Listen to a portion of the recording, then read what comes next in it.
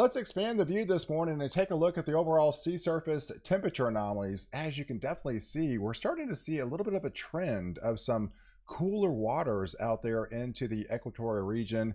That is the trend that I do feel that we're likely coming out of the ENSO neutral and heading into that La Nina by the time we head into late fall, going into the winter ahead. But it's also been prevalent of this warm blob. Your blue is your cooler waters, your red is your warmer waters, and that is a very significant warm blob up there into the NPO, your North Pacific Oscillation region. That's what's made the uh, overall active jet stream and the high tornado count that we've seen so far this year and that warm blob doesn't look to go anywhere anytime soon so i do feel the tornado season is going to keep active all the way through the fall months for the rest of the year. So if we take a look at at least the short term, give you an update on this cool front, cold, you know, cold front that we've been kind of talking about for the last week on this channel. It's definitely alive and well as we start the month of August, at least for the first couple of days. It's definitely really not going to feel like August. It's going to be feeling fairly pleasant with a good part of the country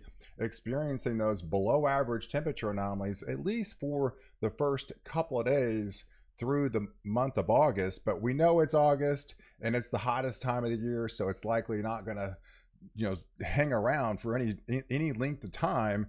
And yes, the ridge does in fact come back in a big way and start building across the south once it kind of loses its luster this high pressure will be starting to take over yet again in the desert southwest. Much of the south, southern and central plains will be feeling the heat by the time we head into the middle of next week and especially by next weekend, but it's also going to ramp back, back up severe weather. So as the ridge starts to build across the south again, those storms tracks have to go somewhere. So it's likely going to go up and over the ridge yet again. So the storm track is going to be waking up big time across the central and northern plains. That's for that second week of August.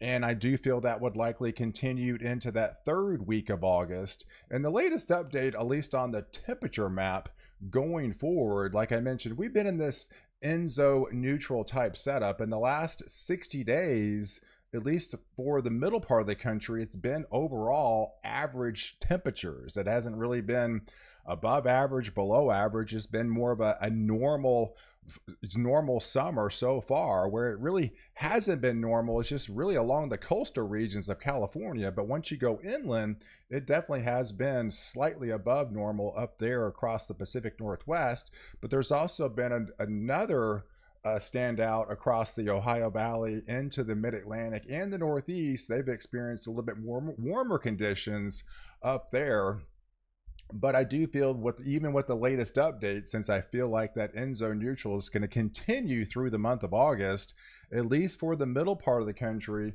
you're still going to be on that average to possibly slightly above average side, where it's going to be noticeable again, where it's been dry and you can't really get a break, is in the desert southwest.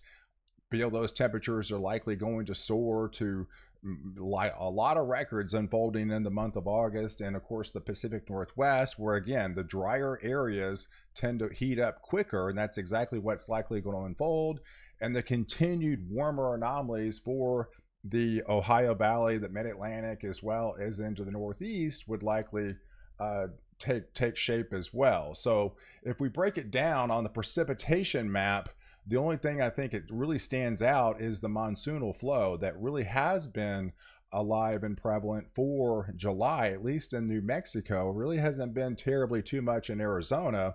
I do feel we'll start to see more of a drying period as that monsoonal flow will start to kind of dry up in those areas.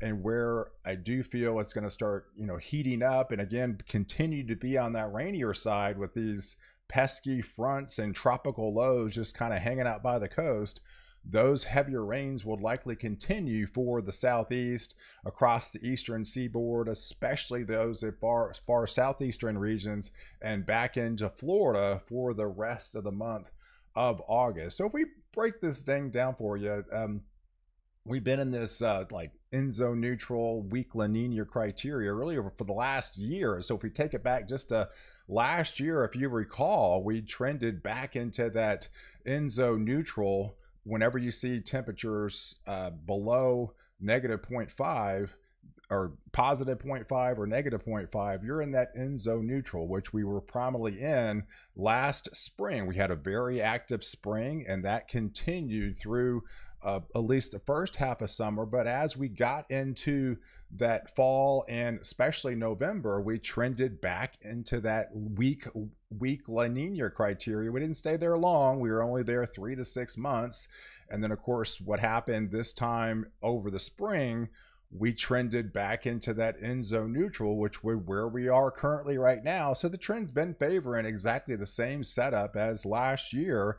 And now the trend's starting to uptick again back into that weak La Nina, and that looks to start to take shape and likely hit the criteria by the time we head into the month of October and the winter ahead yet again. So if we take a look at the overall, uh, you know, Atlantic hurricane season, a lot of people out there throwing in the towel, the season's over, everything like that. But overall, if you look at the data, we basically we're exactly where we need to be this time of year. It's just been again an average year. Typical, we have three named storms already. You're typically on August 3rd, we have our third named storm. So we're following more or less an average season, just kind of like last year. Really didn't start off gangbusters but still it only takes one storm and i obviously we had several storms last year and we still ended up being average to a little bit slightly above average with that uptick in La Nina again and I do feel that's going to be following kind of the same trend. And as some of the tr- same trends as last year I do feel it continues to remain overall on the on the quieter side. So you got normal conditions right now and it's trending a little bit uh, again, there's still a lot of sinking air in the Atlantic basin. We still have a lot of Saharan dust coming off the main development region. There's a lot of dry air across the, the Atlantic basin. So it's going to be very difficult for storms to come together and, and gain a low level center. But I do feel, again, the low, the uptrend of after Labor Day, we're definitely starting to see a noticeable trend. This is typically when you start to see it get a little bit more active. That's why you have 62% of the season happens after Labor Day. Because again, you know, hurricane season goes all the way through the end of November. So, yes, I do feel it's going to be slower, but it's going to ramp up big time as we head into after Labor Day and especially going into into September into October. But what continues to remain active is on the tornado front. If you recall, last year we had 1,910 t- tornadoes. We're already up to 1,400. It's been a very active year. It continues to be a very active year, and with especially with that warm blob out there into the NPO region, I don't see anything to stop this anytime soon. So we're well on our way to meet or even exceed the tornado count uh, as last year. So I wouldn't be surprised we end somewhere in the vicinity of 2,000 tornadoes by the time we get all the way through uh, December.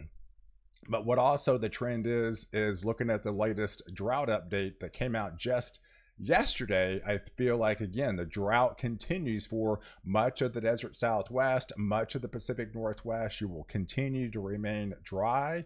The noticeable trend will be an overall drier period across the middle part of the country that is going to get a little bit pronounced especially as we go out of august and going into september and october as we start to feel a little bit more of the effects of the weak La Nina starting to come back on board. But overall, I do feel just like last year, we're going to be seeing an uptick in you know, slightly slightly above average temperatures for overall August, September, and October. I do feel you're going to be on the, the, overall warmer side, really across the lower 48. I don't really see any data that tells me any different. And also, what's going to be noticeable is that overall drying period it starts start to kind of take shape as we get deeper in towards the end of sept- end of uh, September and of course we go into October. And then where it's where it's going to be a little bit more active, start feeling those effects of those tropical like systems down there into uh, uh, the upper Gulf upper Gulf Coast, back into Florida, and across the eastern seaboard, but especially there into the Carolinas will be very active this year. So your typical La Nina kind of looks like this as we go into that end of fall, heading into that winter months we're going to be definitely seeing a, a, a, trending into that less active subtropical jet. I, again, the most of the most of Southern California, most of the desert Southwest, those areas in Oklahoma and Texas and much of the Southeast and Florida will definitely see a, a drying, drier overall drier picture starting to take shape as the polar jet will get a little bit more active. We'll start to see the rains likely coming back towards that end of October, especially November, going into December timeframe for the Pacific Northwest. And then we'll start to see those cool shots come in from the Northwest and dive down into the Southeast, while much of the southern regions will be on the above normal side. So and that that trend continues going into that fall and the beginning stages of winter for the rest of the year. Once we meet that weak La Nina criteria, we're going to be starting to warm up. We're going to start to feel that that uh, subtropical jet stream becoming a lot less active across the middle part of the country and that's likely as the drought likely starts to come back in the middle part of the country we're going to start to see those temperatures overall on the uptick as we head towards the fall months going into winter. And also, what we're also going to see is the overall drier. So, the latest data is starting to indicate what the newest newest guidance newest uh, guidance looks like as the trend comes out of that week, you know, ENSO neutral again, going into that weak La Nina, it's definitely favoring that less active subtropical jet stream across the south that will continue on the overall drier period as we get deeper into fall, heading into December. And then what's going to be a much more alive and prevalent as the rains likely will come back for those areas into the Pacific Northwest heading into that November and December timeframe across the northern interior where you're going to have a, a, a more active polar jet by then. So guys, I appreciate you watching. Do like this video. Definitely hit the subscribe button and catch me next update where I protect you before and after storm.